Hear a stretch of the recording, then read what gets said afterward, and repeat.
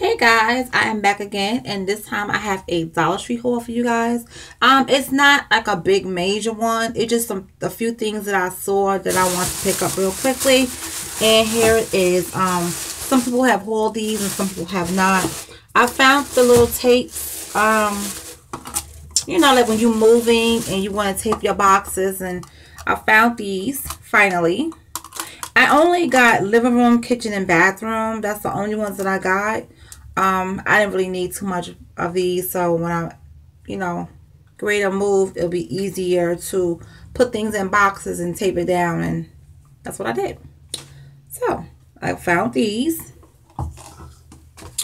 Um, I found these cute little, um, boxes and this is cute. I got them because it has the green, it's blue with green and flowers in it. And you could use these little things for different things. You could use them to put like your little keys and stuff. Put one by your um door on the, I guess, if, I don't know who, who has a desk, like a table by their door. Throw your keys in there or, you know, on your desk. Use it for like pens and, um not writing pens, but, you know, like push pens and stuff like that. Or clips and stuff you know you could use these for a lot of different things and um I got two of them. Okay. Because I thought they were really cute.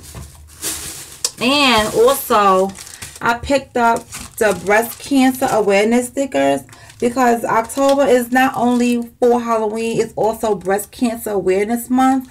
And with my planner, what I'm planning on doing is um, I am going to have like a week where I dedicate to breast cancer and stuff like that. I'm going to have a week where I dedicate to autumn and then another week to Halloween. So I have my October planner already planned in my head. And when I saw these, I was like, okay, this is cool. This is, you know, I can use these. Um, also, what made me get these, and I try to support the cause because you know our YouTube sister Danny she is a breast cancer survivor. Um and she wears her pink proud and I will always always support that. You know I've lost family to different types of cancer. I've lost friends to cancer. I just lost a friend um a couple of weeks ago.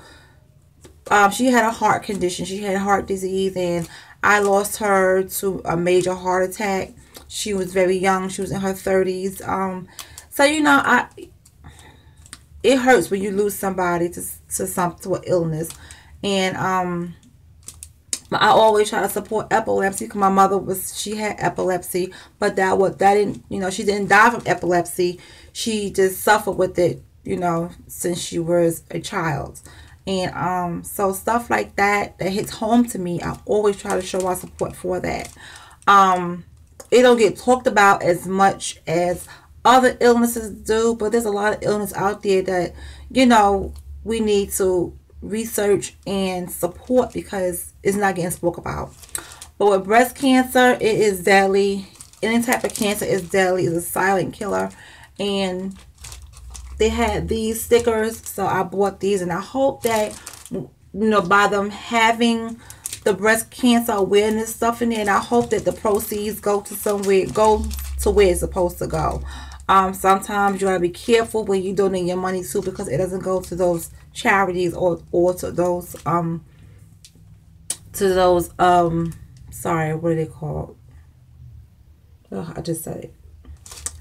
Well you know what I'm talking about I just lost my train of thought.